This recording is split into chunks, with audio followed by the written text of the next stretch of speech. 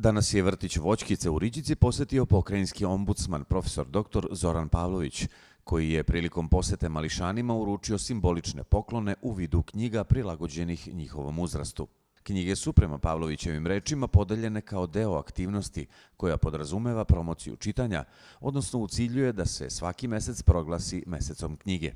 Pokrajinski zaštitnik građana je posebno istakao značaj unapređenja položaja i prava dece, kao i uslova u kojima provode svoje najranije doba.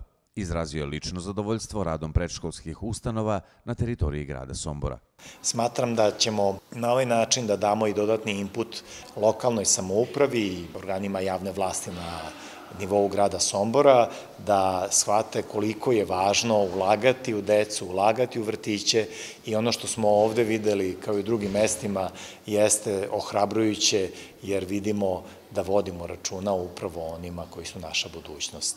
Javno, odgovorno ponašanje svakako podrazumeva upravo i ovakav rad i on zahteva od svih nas dodatne napore. Poseti su prisustovali direktorka predškolske ustanove Vera Gucunja Aleksandra Perović, kao i Anita Stojakov, članica Gradskog veća za oblast kulture i obrazovanja. Aleksandra Perović navela je da su deca u predškolskom uzrastu upravo u pravom uzrastu kada je značajno usaditi im naviku čitanja. Ona se zahvalila ombudsmanu na donaciji u vidu knjiga. Kada kažemo knjiga, prva asocijacija je pravo na obrazovanje.